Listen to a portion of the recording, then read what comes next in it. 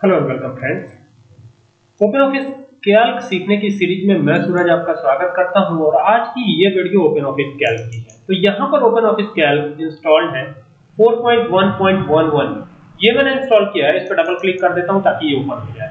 अब जैसे ही ओपन ऑफ़िस कैल्क ओपन होगा तो इस पर हम काम करेंगे। ओपन ऑफ़िस कैल्क जो है सॉफ्टवेयर है और ओपन ऑफ़िस सॉफ्टवेयर पैकेज के अंदर आपको बहुत सारे सॉफ्टवेयर देखने को मिलते हैं, जैसे कि आप जानते ही हैं।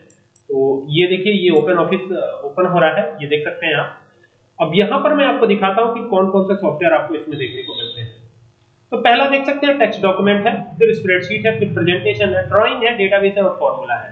तो ये जो फॉर्मूला है, ये रिलेटेड टू टेक्स्ट डॉक्यूमेंट है। यानी कि एमएस वर्ड जैसा जो सॉफ्टवेयर है, उसे हम टेक्स्ट डॉक्यूमेंट के नाम से जानते हैं ओपन ऑफ़िस में। दूसरा स्प्रेडशीट जो है, जिसका कि हम यूज़ करने जा रहे हैं अभी ये जो है एक्सेल जैसा सॉफ्टवेयर है, तीसरा प्रेजेंटेशन पावर पॉइंट जैसा सॉफ्टवेयर है और drawing related to text document है और और इसके बाद डेटाबेस है तो डेटाबेस जो है एक प्रकार का एमएस एक्सेस जैसा सॉफ्टवेयर है, ठीक है? तो अभी हम स्प्रेडशीट की बात करेंगे तो क्लिक कर देते हैं स्प्रेडशीट पर शीट ओपन हो रही है, ठीक है? तो ये देख सकते हैं, ये कुछ इस तरीके से आपके सामने आ जाती है, ठीक है? फॉर्मूला लगाने का तरीका बिल्कुल वही है, जो आप लगाते थे पहले एक्सेल में बिल्कुल वैसे ही यहाँ पर भी फॉर्मूला लगाना है। केवल अंतर इतना है कि आपको यहाँ पर, जैसे मान लीजिए यहाँ पर मैं एक डेटा जल्दी से एंटर कर देता हूँ नेम ऑफ़ स्टूडेंट कर देता हूँ इस तरीके से। तो ये कुछ डेटा मैं एंटर कर रहा हूँ यहाँ पे, देखिए। यहाँ पर मैं रैंड बिटवीन का फॉर्मूला लगा रहा हूँ और फॉर्मूला लगाते वक्त आपको क्या ध्यान देना है वो भी बताता हूँ अभी। ये हो गया रैंड और फिर लिखता हूँ बिटवीन इस तरीके से आपको लिख देना रैंड बिटवीन और यहाँ पर लोएस्ट नंबर फाइव अब यहाँ पर स्टूडेंट कॉमा देते हैं। ये बहुत बार मैं बता चुका हूँ। सिंटेक्स में देखिए सेमीकोलन लगा हुआ है। तो आपको कॉमा नहीं देना सेमीकोलन देना नहीं तो आपका आंसर नहीं आएगा एरर आएगा। ठीक है? ये देखिए, हमारा आंसर आ गया।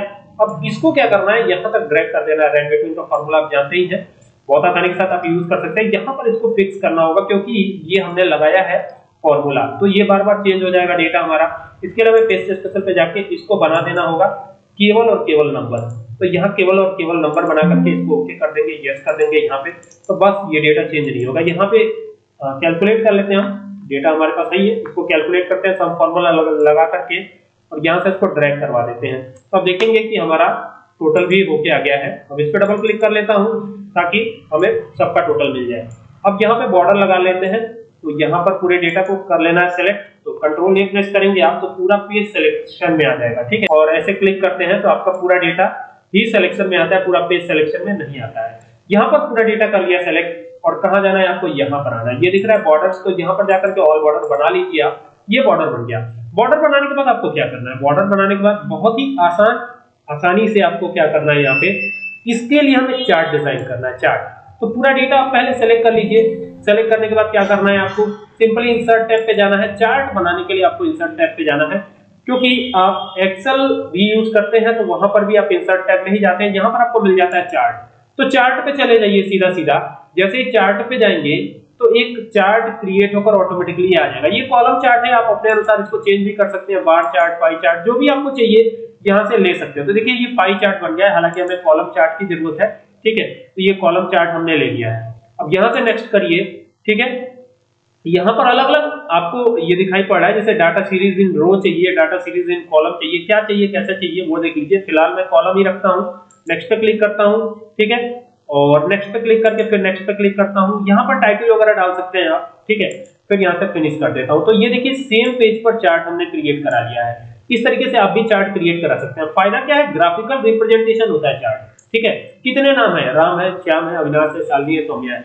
तो इन सबका नंबर यहाँ दिखाई पड़ रहा है। देखिए ना यहाँ पे राम। तो सबसे कम नंबर राम का किसमें है? देखिए ब्लू वाला जो है ब्लू वाला सबसे कम दिख रहा है। तो ब्लू वाला कौन सा है? सब्जेक्ट वन है। तो राम राम का देखिए ना, यहाँ पे ब्लू ब्लू वाला देखिए, ये ये जो है, यहाँ पे नीचे ब्लू है, ठीक है? और ब्लू वाला सबसे कम जो नंबर है इनका छह नंबर है सब्जेक्ट वन में, ठीक है? इसी तरीके से सब्जेक्ट टू में इनका कितना है?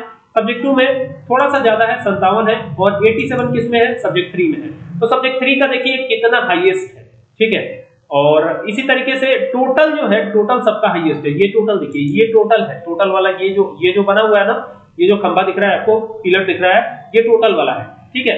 तो इसी तरीके से आप चार्ट डिज़ाइन कर सकते हैं। चार्ट डिज़ाइन करना बहुत इजी है ओपन ऑफ़िस कैल्क में। और ये तो एक छोटा सा है, एक बताने के लिए, सिर्फ़ समझाने के लिए। तो अगर आपको ये वीडियो पसंद आया तो आपसे शेयर करें। Thank you for watching this video